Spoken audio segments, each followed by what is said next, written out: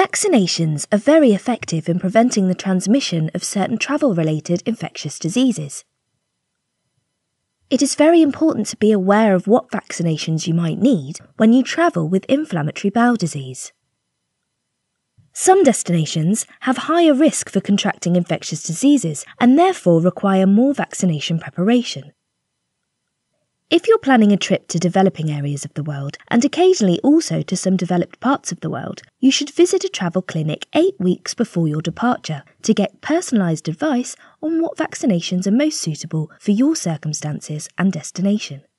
Certain medications you take to control IBD, such as biologics or azathioprine, may make your immune system compromised and increase the likelihood of catching infections. If you take immunosuppressant medications, you'll be unable to have live vaccines. A travel clinic or your IBD team can advise you. Inactivated, also known as dead vaccines, are perfectly okay and can be recommended.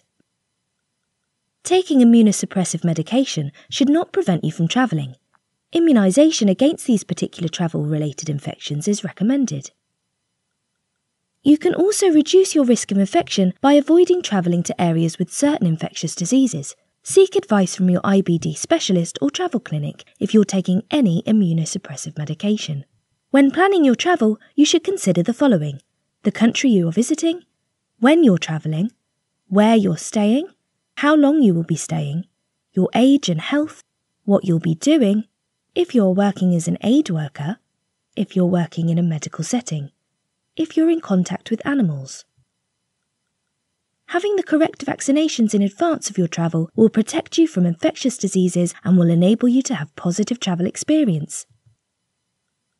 Find out more information at www.ibdpassport.com.